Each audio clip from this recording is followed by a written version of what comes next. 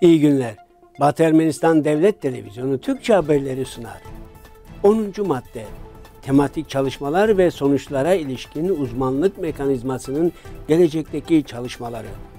Batı Ermenistan Ulusal Meclisi'nin olağan oturumu gerçekleşti. İşgal altındaki Şuşi'de tank anıtı alanındaki haçkarlar yok edildi. ABD'nin farklı eyaletlerinden ülkemizde yetişen öğretmenler ülkelerindeki Armenosit tarihini öğretecek. Bakü'nün yeni iftirası. Artsak'ın tarihi ve kültürel mirası konusunda UNESCO'dan beklenen aktif adımların önemi tartışıldı. Ermeni satranç oyuncuları Gürcistan'daki uluslararası turnuvanın liderleri arasında yer alıyor.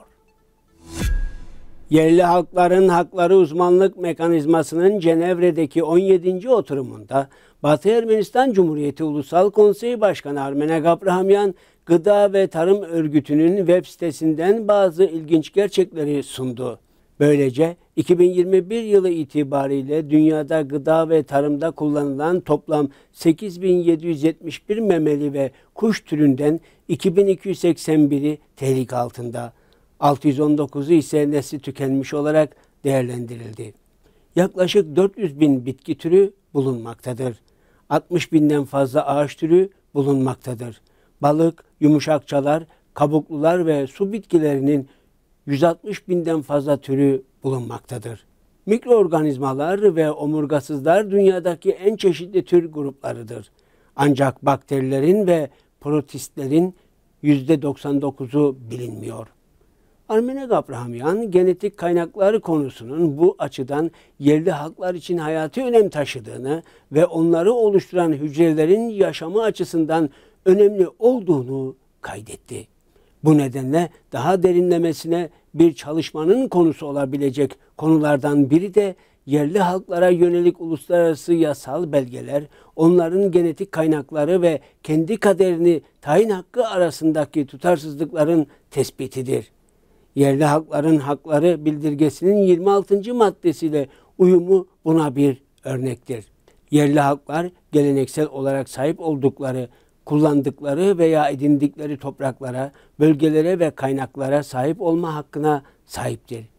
Biyolojik çeşitlilik sözleşmesi devletlerin biyolojik kaynaklar üzerinde egemenlik haklarına sahip olacağını belirtmektedir yerli halkların hakları bildirgesinin 26. maddesine ve gıda ve tarım ilişkin filogenetik kaynaklara ilişkin uluslararası anlaşmaya madde 9 uyum.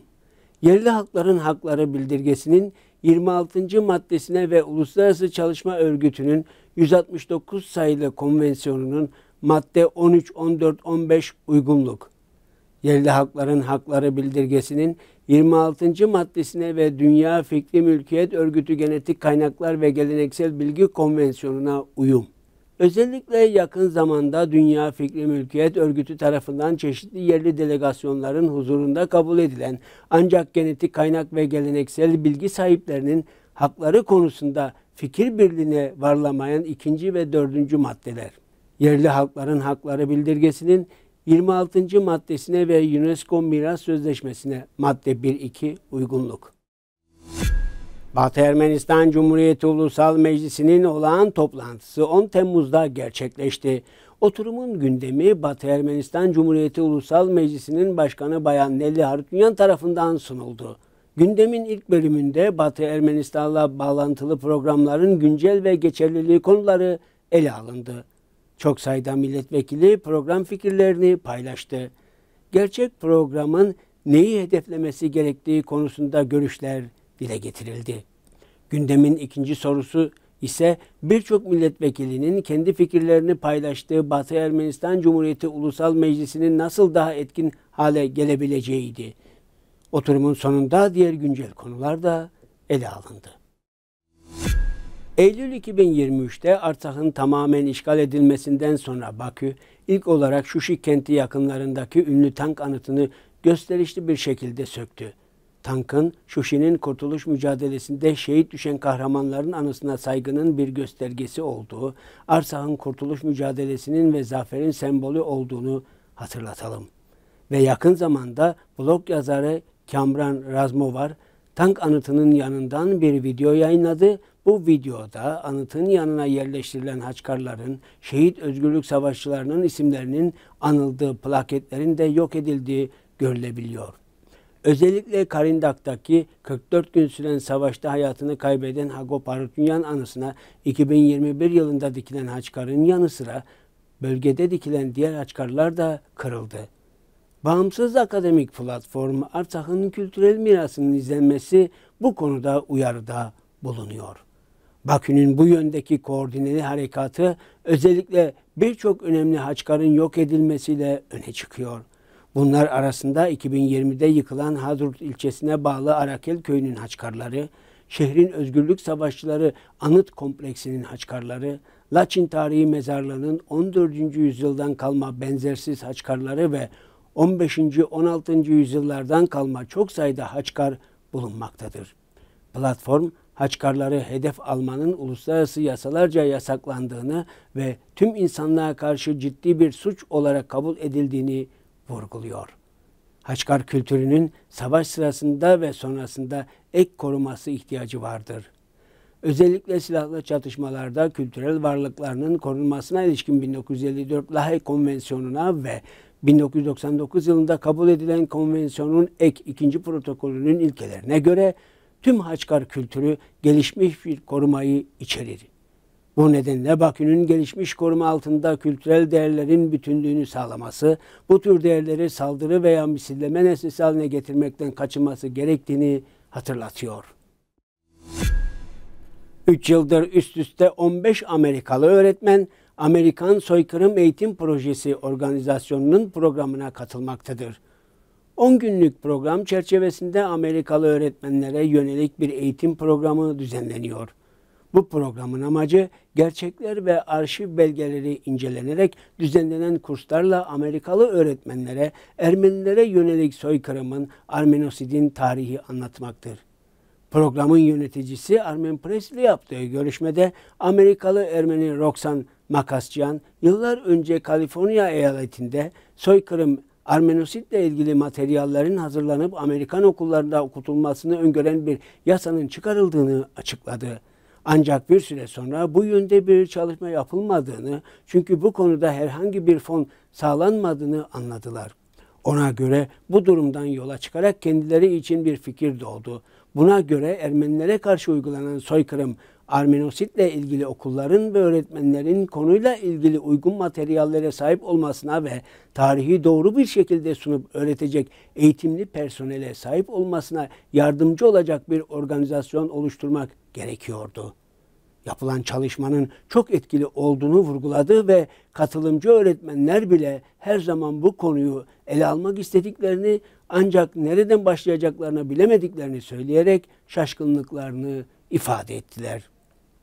İcra Müdürü Makasçıyan ayrıca bunun nedeninin Ermenilere uygulanan soykırım Armenosid'in tarihi hakkında her zaman çok ciddi bir karşı propagandanın yapıldığını ve Amerikalı öğretmenlerin tarihle ilgili güvenilir ve doğru bilgiyi nerede bulacaklarını çoğu zaman bilmemeleri olduğunu da sözlerine ekledi. Bakü Kültür Bakanlığı ve Fikri Mülkiyet Ajansı, Bakü bestecisi Behram Nasibov'un Karabağ müzik eserinin hukuka aykırı olarak tahsis edilmesi ve telif haklarının ihlaline ilişkin olarak ortak açıklama yayınladı. Ortak açıklamada Bakü yazarlarının eserleri ve folklorunun Ermeniler tarafından gasp edilmesi davalarının devam ettiği belirtildi. Haftalık Aç gazetesinde yer alan habere göre bir başka vakanın da Gor Yeplemyan'la ilgili olduğu belirtiliyor. Söz ve müziği tanınmış Bakü bestecisi Behram Nasibov'un yazdığı Karabağ adlı besteyi seslendirmiş. Çok da uzak olmayan bir geçmişte Doğu Ermenistan'ın Bakü'yü intihal ve Ermeni kültürünü kendine mal etmekle suçladığına dikkat çekiyorlar ve UNESCO'ya başvuruluyor.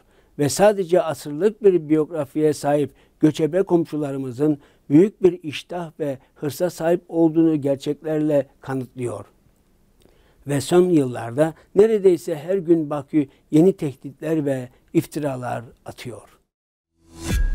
Doğu Ermenistan'ın UNESCO daimi temsilcisi Aram Hagopyan, 10 Temmuz'da itimatnamesini UNESCO Genel Direktörü Audrey Azula'ya sundu. Muhataplar UNESCO ile Doğu Ermenistan arasındaki işbirliğinin genişletilmesi olasılığını tartıştı. UNESCO'nun kültürel mirasın korunması yönünde yürüttüğü girişimlere değinen Arman Hagopyan, Artsak'ın tarihi ve kültürel mirasına yönelik tehditlere dikkat çekerek bunların çözümünde UNESCO'dan beklenen etkili adımların önemine dikkat çekti. Gürcistan'ın Batum kentinde düzenlenen uluslararası satranç turnuvası 8. Batum Belediye Kupası'nda sona 3 tur kaldı ve uluslararası usta Stefan Bogosyan 6 üzerinden 5 puan alarak A grubunda tek lider oldu. Büyük usta Levon Babuçyan ve Simon Mıgırdıçyan 4,5 puanla 4. ve 5. sırada yer alıyorlar. B grubunda Menua Hagopyan 6 maçın tamamını kazanarak tek lider konumunda bulunuyor. C grubunda Arayik Yavryan 5,5 puanla tek lider konumunda bulunuyor. 12 yaş altı erkekler kategorisinde Gor Grigoryan ve Armen Arutunyan 5'er puanla lider durumdalar. 12 yaş altı kızlarda Angelina Mirakyan 5,5 puanla tek lider konumunda. Mikael Sarkisyan 10 yaş altı erkek çocuklar kategorisinde 5 puanla tek lider konumunda. Turnuvaya Doğu Ermenistan'dan 88 satranç oyuncusunun katıldığını hatırlatalım. Sayın izleyiciler ve sevgili soydaşlarımız bugün için bu kadarını gördük. Hoşçakalın.